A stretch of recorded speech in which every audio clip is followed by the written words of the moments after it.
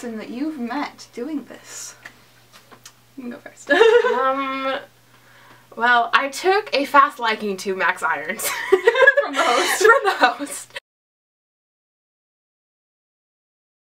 I basically was pushed into him when I first met him and he was drunk and he was just talking about nonsense and it was so exciting for me.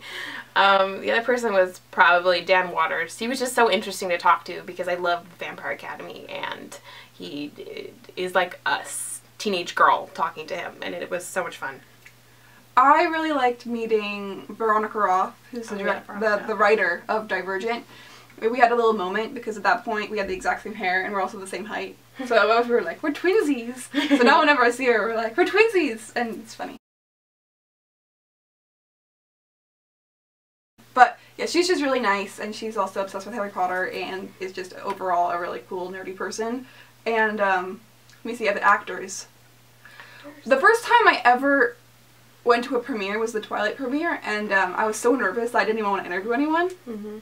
um, I was just so completely nervous. So I had the other girl I was with uh, film me and I was just kind of like completely flabbergasted when Kristen Stewart. I don't know, like it's funny because nowadays like I try not to be starstruck by anyone. Oh yeah. But yesterday at the Divergent junket, I got totally starstruck by Shailene Woodley. Like I did like she was so, it was like because don't don't look at her. It was actually kind of sad because she she we were we were editing and she walked into like the little area we were in, and um, I like I, I don't want to like annoy anyone so I literally like just looked down which was like the most awkward thing I possibly could have done and she was like hey! And then and then Natasha was like hey! And I was like why did I do that? But yeah that, that was a cool thing. I didn't actually meet Shailene Woodley but maybe I will at the premiere. Well, we said hey to her so. Yeah she said hey to her. I was like oh, silent, yeah, I, said hey I was her. like a silent awkward turtle but that's okay. That's okay. I think probably interesting for me was meeting Robert Pattinson for the first time. Oh yeah Robert Pattinson. Because I was just so obsessed with Twilight, and then like finally being able to meet him, it was just so. I hate this word, but it was so surreal. Yeah, no, no, it, that's actually that would probably be it. Like it's it's weird for me now because I'm like looking back on it, and now it's not as like oh my god because it's been a while. Like like time kind of buffers it. But when I first saw Robert Pattinson too, I was kind of like pretty, pretty like we, we seem such like such fangirls right now. But it's like Twilight was our first thing. Yeah. Is each book to movie adaptation still exciting as it was when you were obsessed with Twilight? No, not no, anymore. Not it's anymore. kind of actually sad that that's the case. Here's the here's the thing, when we were obsessed with Twilight, 15 14 years old. Like we were teenagers. Like this was our like our first experience doing this. Like we matured through twilight like both of us did. Yeah like what I, I said before when i did the twilight premiere i literally was so nervous that i can't couldn't talk to anyone and now i do this all the time. Like i talk to it's like a job. It's like it's like my job to job. interview it is a job. and be professional. So nowadays like it can't be a fangirl anymore you can't, or else you look so unprofessional. You look stupid. You can't be a fake girl. Like you, you, like you're in a press junket. You're invited to this thing. You can't go up to someone. Can I have? Let's do selfie. Let's do selfie. Like, no, you, you get kicked out. Yeah, that's that's actually part of the reason why I didn't want. I don't like to.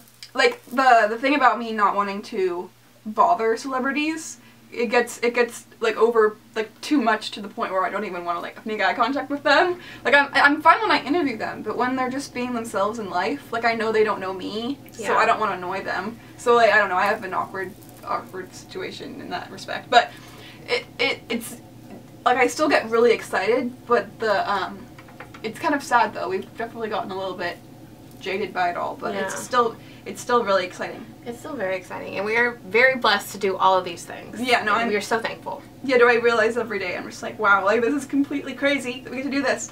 But you have to realize that we don't do it every day. This is no. a very rare, very rare. Like and we work really hard. Yeah, we work. We work like literally like almost 24 hours. Like I work like 24 hours a day. Not 24 hours a day. like, like 12. I work like 12 hours 16, a day. 16. 16 hours a day. I have my phone out all the time to do this. Like, and we, it's like all day, every day, seven days a week. We don't get weekends off.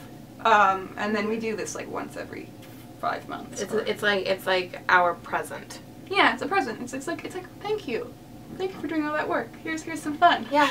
Yeah. if you could play the part of any character in any book, who would it be and why? Do you have an answer for that question, Natasha? Lois Lane. Yay!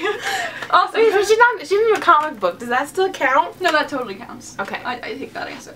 Um, for me, You want to be Hazel Grace. Hazel Grace from The Fault in Our Stars. Yeah, yeah, yeah, yeah, yeah, yeah, yeah. That's who I would play.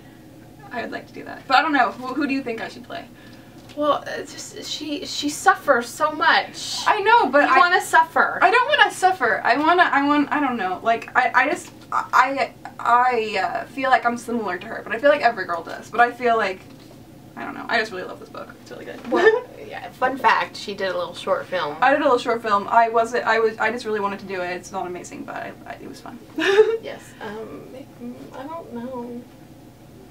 I don't know who you should be. Daisy. Daisy from Great Gatsby. Woo woo. Oh, actually, How about no? no. She kind of lives a horrible life too. No, she does. Mo- mo- all these people that we're talking about, their lives are kind of stressful. Not Lois. Well, it's a little stressful. Her life. She's always But Augustus, saved if you're Hazel, you get to hang out with Augustus. for a little short time. Spoilers. What's the process like for getting press passes and all the red carpet equipment? Well, can't tell you everything. No, yeah, but I will give you inside info. Um, so basically, what happened was, like I said, with Twilight for his GoldenEyes.com, um, I didn't know that I could do this professionally. I had no clue. I thought I was just making a fan site, and I loved doing the fan site part. That's what I liked. I wasn't go. I wasn't trying to be a press celebrity interviewer or anything. I was just like, you know, let's do this. It's fun times.